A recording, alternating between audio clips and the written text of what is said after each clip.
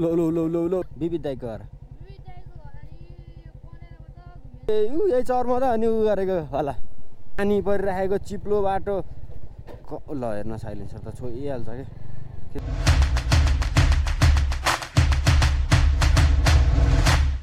ल हुन्छ बुवा आमा नमस्ते।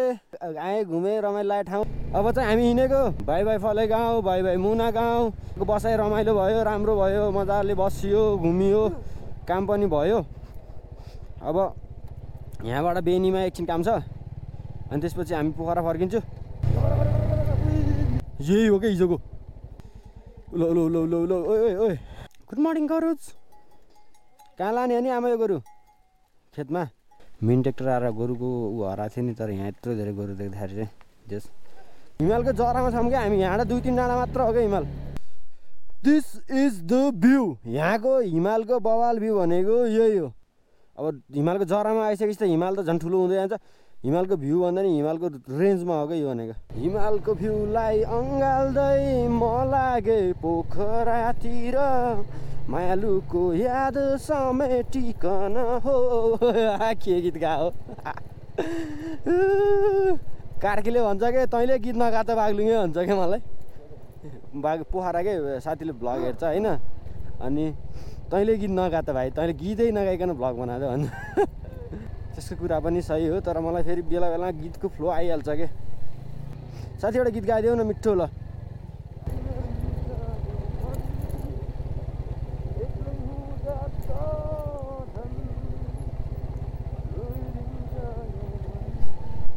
हामीले धारापानीमा एकछिन टाइम स्पेन्ड गरिन्छ धारापानीमा एमआरबीको गाउँमा एकैछिन। हो वाल लगाएको मलाई दामी मनपर्छ नि दिस इज ताकम गाउँ यो मध्ये कहीँ मेरो घर पर्थ्यो होइन। अहिले चाहिँ कहाँ थाहा छैन सायद त्यो हुनुहुन्छ कि त्यो हुनुहुन्छ कि त्यो हुनुहुन्छ फर्केर आऊ तिमी घाम बनी बादलको माथि तिमीलाई। ताकम गाउँलाई नि बाई बाई गरियो। अब फेरि फर्केर आइन्छ आइन्न कहिले होइन। त्यही पनि जस आफ्नो पुर्खाको थलो देखियो। कस्तो अर्कै अर्कै हुँदो रहेछ कि आफ्नै गाउँ छोडे जस्तो हुँदो रहेछ। जे यहाँ कहीँ हुर्किन्थ्यो लाग्यो सायद म हाँ। मेरो? तिम्रो? रातो सारीमा तिमी राम्री देखिन्छौ। सब चिहान हो कि यो मान्छे मरेपछि उसको सम्झनामा चाहिँ बनाइदिएको ठाउँ हो कि यो भनेर। अब हामी चाहिँ धारापानी आइसक्यो एकैछिन त्यहाँ। मिल्यो भने एमआरबीको मम्मीलाई भेट्छु।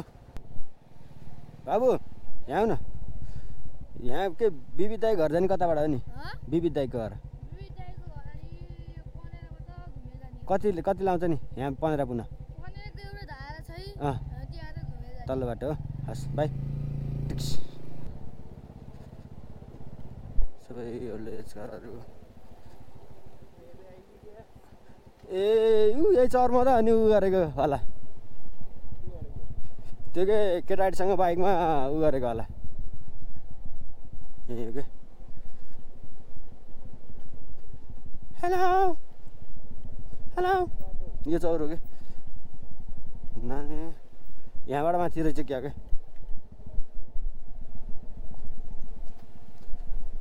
आम रियली सरी एमआरबीको घरसम्म जाने भने सोचिरहेको थिएँ।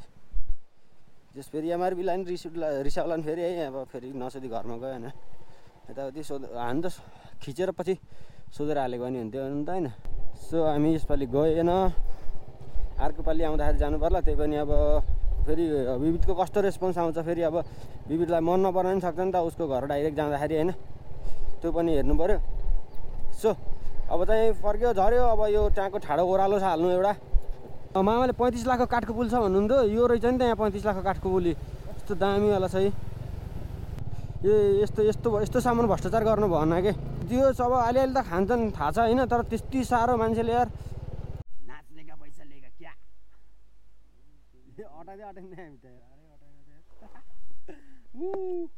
मिस्टी ल।